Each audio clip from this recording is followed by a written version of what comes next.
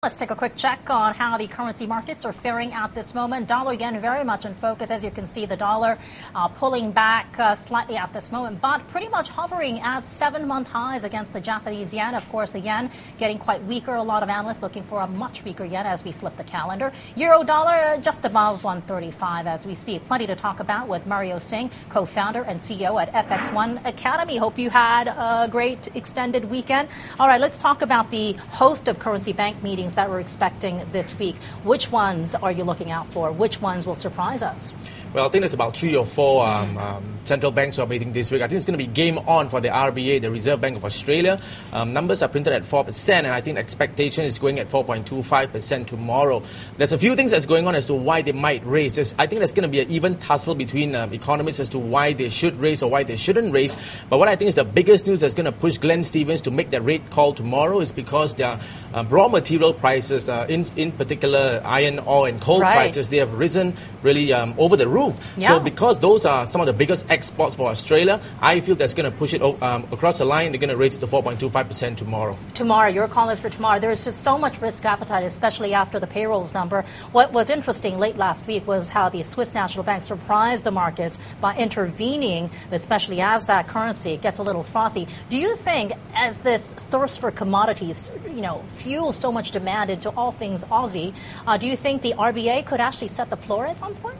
They try to could. lift, try to cap the, the, the Aussie dollar's rise? They possibly could, but I still feel tomorrow is going to be at 4.25%. They would cap it. Now, let's assuming that Glenn Stevens raises it tomorrow. I would see that as a, um, as a, as a holding point at 4.25%, at least for the next few months, so that they can let the monetary policies actually play out. Um, they started the raise, uh, raising the rates possibly, I think, somewhere in October last year. And we are looking actually looking at the effects of that. We are seeing retail sales and building approvals actually dipping now. Uh, but having said that, bearing in mind also because retail sales actually account for more than 50% of the Australian output. So these are numbers that Glenn Stevens has possibly got to crunch. But, but when push comes to shove, I still feel on an export perspective that I still feel at 4.25%, he would push it through. Assuming that happens, it would be a floor at some point. For the next few months, it will be stagnant. And uh, let's talk about Geithner and uh, postponing this uh, yeah. biannual biannual reform, a, a wise move, but ultimately it's still on hold.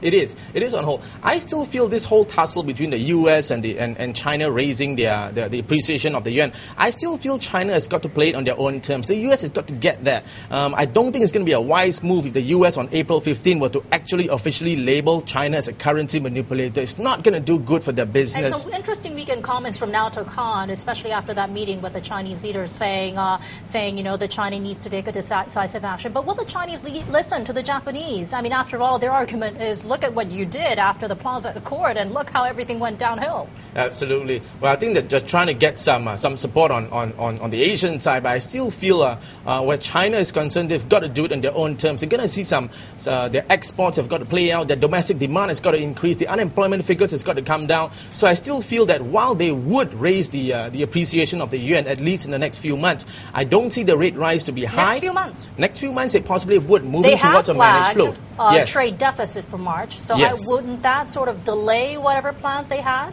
That is a good point for, for, for the Chinese to say that yes, the, the plans will be delayed, but I still feel with all the pressure, they just might. But it's got to be on their own terms. They've got to see that, hey, this is my decision. I want to do it my own terms. I'm not going to cave in on external pressure the yen. Um, earlier, some of our uh, analysts, some of our uh, forex uh, dealers were talking, looking at 100, even within three to six months down the road. Is that something that's on your radar? Um, I'm just a little bit more conservative. While I still feel the dollar yen is playing possibly among all the majors, it is the one that's really riding the best on U.S. fundamentals, and it has skyrocketed above 94 um, on on the back of the NFP last uh, last Friday. Um, I don't see it hitting to 100. I'm possibly seeing it uh, just below 100, and then there's going to be a pullback again. Um, I don't feel that the uh, the U.S. is going to be taking on just too much risk at this point. Traders would still be applying most of their cash. The hot money is still going to be on the commodities, on the Aussie, the Kiwi, and the and the Loonie. I see, and we've got also plenty of data to look out for as well. Which ones do you think will give us more of a sense of direction as to where the dollar will go, aside from the central bank meetings this week? Well, that's going to be the chief one. We're going to, um, I'm going to possibly be looking at whether uh, Bernanke has certain uh, hawkish tones in, in his FOMC minutes. report. Yes, uh, the, the minutes is going to be happening um, early this week actually. But uh, prior to saying that, even tonight, if I'm looking at the ISM manufacturing uh, report, uh, if that's going to be heading upwards, it's going to be a good deal um, of data that's coming up. The risk uh, risk appetite will be returning. So tonight's uh, reports on the ISM non-manufacturing um, for service numbers, that is possibly going to be something that traders, including myself, will be looking at tonight. So how far will the dollar go by the end of this week then?